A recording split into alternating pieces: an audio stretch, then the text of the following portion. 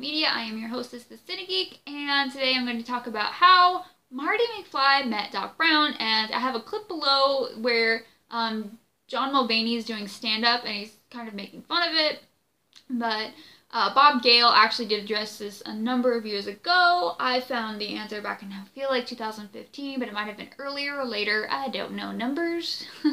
and uh, he did write about it in the uh, comic book he released with IDW, and because Bob Gale is one of the creators, along with Bob Zemeckis, it is considered canon. So Doc and Marty met October 2nd, 1982, when Marty was 14 years old, and he broke into uh, Doc's lab slash garage.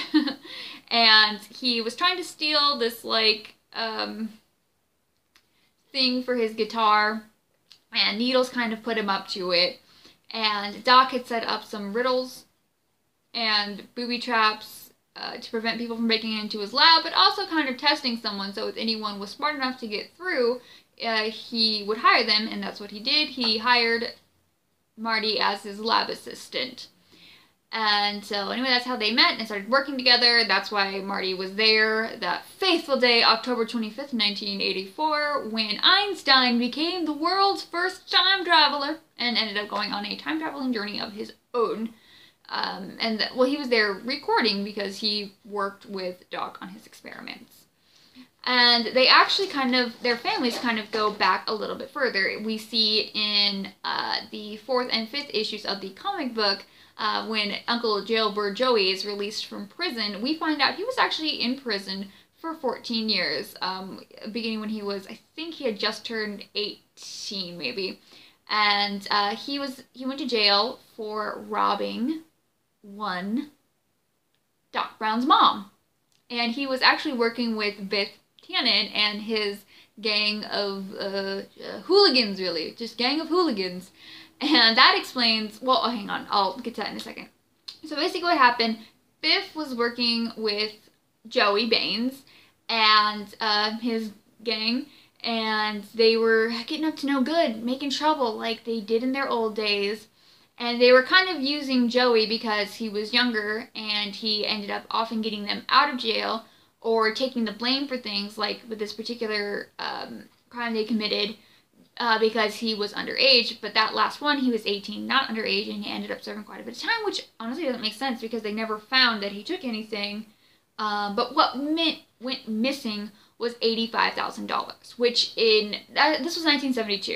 So in 1986 money, that is $223,000 and in today's money that's over $515,000 so about a cool half mil um and seeing Doc in the 70s was probably the greatest thing the world has ever given me. Because he was an interesting fella. Um, so anyway, he goes to jail. He finally gets out in 1986, and Doc, well, not Doc, Marty ends up going back in time after Doc gives him a cryptic message to, you know, be weary of him. And he finds out why Uncle Joey went to prison, and he's a little surprised that it has to do with Doc and that their families kind of go back further than he realized.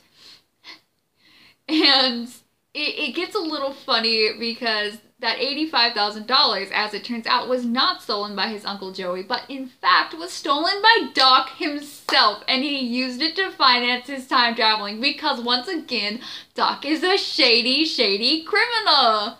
Doc, what are you doing, my man? It's just so funny.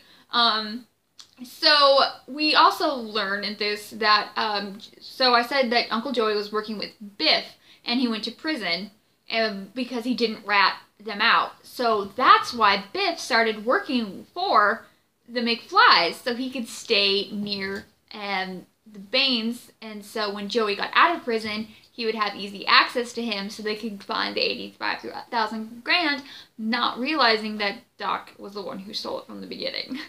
So really, this dude spent 14 years in jail for nothing, and it doesn't make sense. What is the legal system like in Hill Valley? I now don't question what it was in 2015 because it was obviously already crap in 1972. Anyway, any comments, questions, concerns, feel free to leave them below. I have so many Back to the Future theories, so please feel free to check them out. We need a Moon Knight movie and have a fantastic day.